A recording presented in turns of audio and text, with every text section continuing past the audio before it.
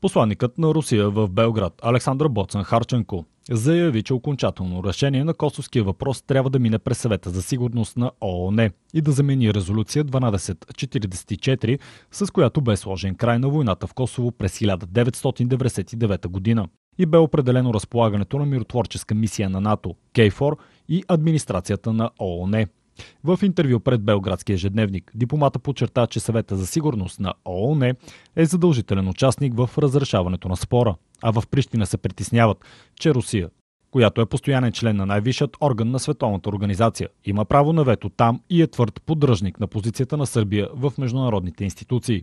Припомняме, че диалогът между Белград и Прищина за постигане на правно обвързащо споразумение за цялостна нормализация на отношенията е замразен от 2008 година когато правителството на Косово наложи 100% мита върху сръбските стоки. На 1 април Прищина отмени митата, но наложи мерки на реципрочност с Сърбия. Районът остава една от горещите точки на Балканите. Ясна и категорична позиция на България и към този момент липсва.